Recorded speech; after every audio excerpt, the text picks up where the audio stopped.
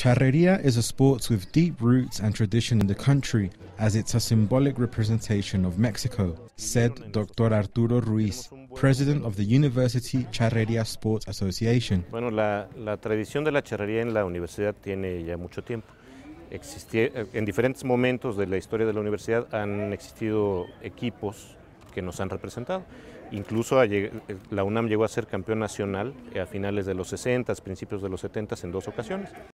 Ruiz said that a group of university students interested in the discipline asked the last two administrations of the university to reactivate the sport, a request that was endorsed by the authorities. Sacamos una convocatoria, eso fue en agosto del año pasado, eh, un jueves, recuerdo bien, fue un jueves. Para el sábado ya teníamos cientos de preguntas en redes para saber cómo afiliarse a la, a la asociación.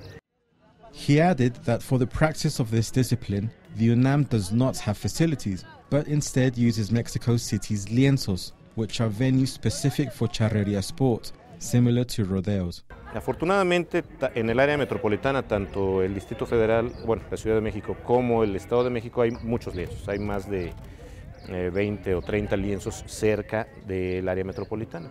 Y prácticamente en todos ellos hay algún universitario ya sea profesor, egresado, alumno, y nos han ofrecido sus lienzos como sede. The university students practice and prepare for the National Charreria Championship every Friday as part of the physical activation program that takes place in the open spaces of the UNAM. Ya tenemos listo el equipo varonil, está prácticamente listo el, el equipo de la escaramuza, de, de las niñas. Eh, vamos a preparar un equipo infantil podemos ya eh, preparar el equipo de charros mayores y hay una modalidad de participación del charro completo. Ahí también ya tenemos dos, dos candidatos y la intención es empezar desde este año deportivo en todas las categorías que podamos. With information by Marcos Moreno and Gabriel Vaquero and images by José Luis Leone, Notimex.